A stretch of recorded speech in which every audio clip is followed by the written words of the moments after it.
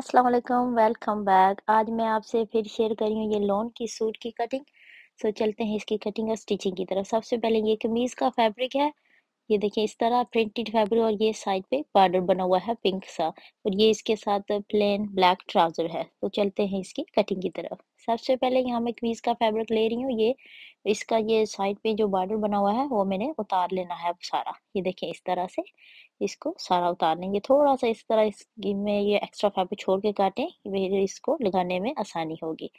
सो इसको सारा उतार लेते हैं ये देखें, ये पहले मैंने सारा फैब्रिक जो है वो बॉर्डर वो प्रिंटेड उतार लिया है, अब कमीज़ की कटिंग की तरफ़ चलते हैं।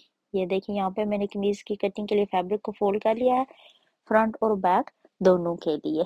सो, अब चलते हैं इसकी कटिंग के लिए तरफ़। सबसे पहले यहाँ मैं इसकी मेज़रमेंट कर रही हूँ लेंथ, कमीज जितनी भी आपको रखनी है लंबी, उसी हिसाब के मुताबिक आप रखें। यहाँ मैंने रखनी है रेडी फोर्टी थ्री, सो मैं यहाँ पे फोर्टी फोर पे मार्क लगा रही हूँ, एक इंच जो है वो ऊपर शोल्डर में भी जाएगा और नीचे उसमें फोल्डिंग के लिए भी। सबसे पहले यहाँ पे मैं इसको इवन कर लेती हूँ फैब्रिक को, जो भी अनइवन फैब्रिक है उसको निकाल दें। फिर उसके बाद यहाँ पे मैंने मार्क लगाया है तकरीबन आधा इंच छोड़ के, जो कि शोल्डर की सिलाई में जाएगा। उसके बाद यहाँ पे शोल्डर का मार्क लगा लें। यहाँ पे मैंने लगाया है सेवन एंड हाफ़ पे। यहाँ से ये देखें इस तरह, इस जो लाइन लगाई है इस पे ऊपर से आधा इंच फैब्रिक छोड़ के वहाँ से इसकी मार्किंग करनी है। अब यहाँ से मैंने आर्म होल की मार्किंग करनी है, वो भी मैंने रखी है सेवन एंड हाफ़ ये देखिए, साढ़े सात। यहाँ पे इसका आर्म होल की भी मार्किंग रखा, कर लेनी है। और उसके बाद इस निशान को मैंने सीधा कर लेना है। ये देखें इस तरह। इसको सीधा कर ले। यहाँ से जो शोल्डर का मार्क लगाया था, उससे फिर आर्म होल के मार्क लगा उसके बाद यहाँ पे मैं मार्किंग करूँगी, जो है वो चेस्ट की। वो मैंने रखनी है, ये देखिए यहाँ पे, तकरीबन यहाँ से इसको लगाएँ, जो आम होल का मार्क है वहाँ तक और ये ये देखिए अलेवन पे मैंने मार्क लगाया है, क्योंकि ये टेन है तो इसलिए अलेवन लगाया है, जो कि एक इंच सिलाई में मार्जिन के लिए, और प्लस ये लोन का फैब्रिक है तो इसके लिए इसको मैंने लूज ही रखना है, इसलिए ज़्यादा फिटिंग वाली ड्रेस नहीं बनानी। उसके बाद यहाँ पे आम होल की गुलाई की, और ये, यहाँ पे अब जो आम होल का मार्क है, वहाँ से नीचे चाक तक और फिर हिप का। यहाँ पे मार्क लगा के जितना भी रखना है उसी हिसाब से रख। के फिर यहाँ पे मैंने ये इस तरह रख के सीधा नीचे मार्क तक लेके जाना है निशान। उसके बाद नीचे यहाँ पे मैं कर रही हूँ हेम लाइन की, जो है वो मार्किंग जो भी जितनी भी खुली रखनी है उसी हिसाब के मुताबिक रखनी है। ये देखें इस तरह, इसको भी सीधा कर लेना है, ये इस तरह। और उसके बाद नीचे से दामन की भी वो सीधा कर लेना है, जो भी अनिवन फैब्रिक है। उसके बाद यहाँ से कटिंग की शुरू किया है। सबसे पहले जो मैंने जो फ्रंट का पीस है उसकी की है और उसके बाद ये बैक की, ये देखिए इस तरह। बैक का थोड़ा सा मैंने यो लूज रखा है, ये देखिए इस तरह से आपको नज़र आ रहा है। और उसके बाद यहाँ से नीचे जो चाक का मार्क है वहाँ तक, और उसके बाद नीचे जो दामन तक जितनी भी मैंने खुली रखनी है, वहाँ तक मैं इसको काट लूँगी। देखें इस तरह से। नीचे तक काट लें और उसके बाद नीचे से जो दामन है, उसको भी इवन कर लें, जो भी अनइवन फैब्रिक है, उसको काट के और यहाँ पे मैं मार्क लगा रही हूँ फोल्डिंग के लिए। इससे आसानी रहेगी ये ये देखें इस तरह से। और उसके बाद चलते हैं स्लीव्स की कटिंग की तरफ़।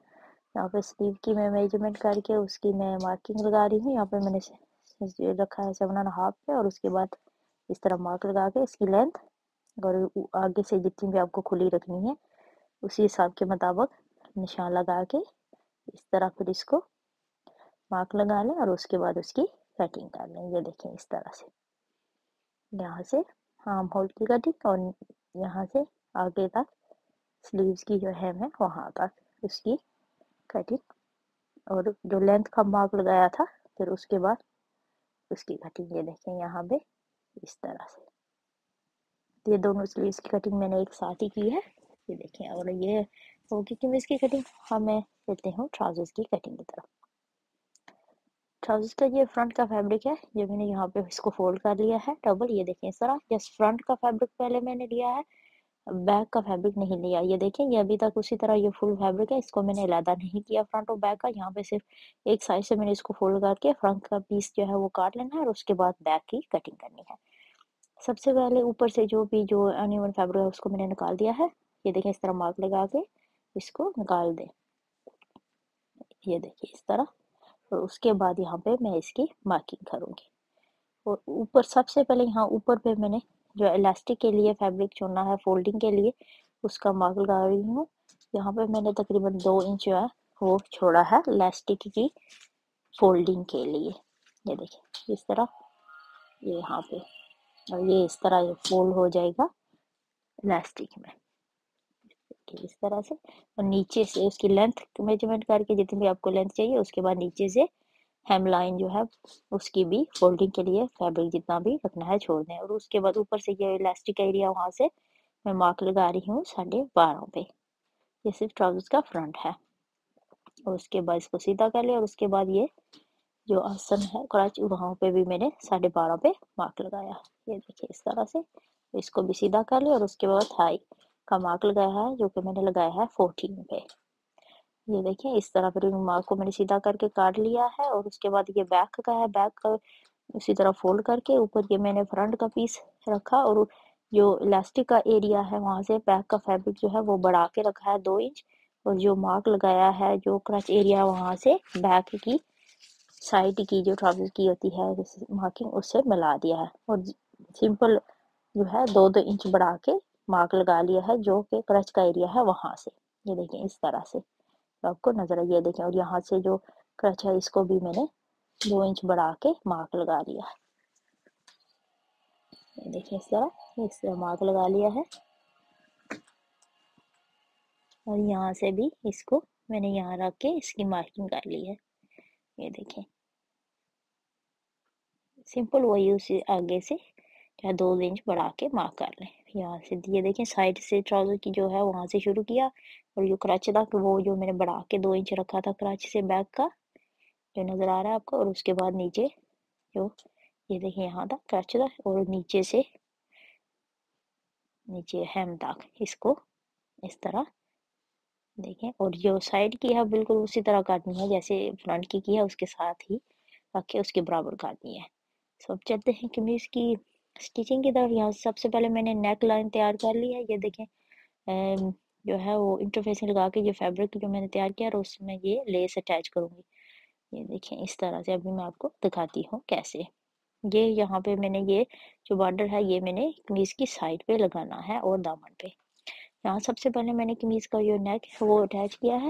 ये देखें इस तरह इसको किया है, ये मैंने उल्टी साइड पे किया है और इसको मैंने सीधी तरफ़ फोल्ड करके ये लेस जो है, ये लगानी है। ये देखिए, इस तरह से। अभी मैं आपको दिखाती हूँ। कमीज की उल्टी तरफ़ पहले नेक लाइन लगाई और फिर उसको सीधी तरफ़ फोल्ड करके ये देखें इस तरह से और इसमें ये लेस लगा दी। ये देखें इस तरह से। इसी तरह मैंने बैक की भी नेक लाइन तैयार करनी है। जैसे मैंने फ्रंट की की है।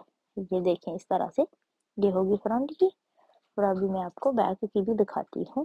ये अंदर से भी कितनी नीट एंड क्लीन है और ये बैक की भी बैक की भी मैंने उसी तरह तैयार की है जैसे फ्रंट की की है। अब दोनों की सीधी तरफ़ अंदर की तरफ़ करके यहाँ पे मैं शोल्डर की स्टिचिंग करती हूँ।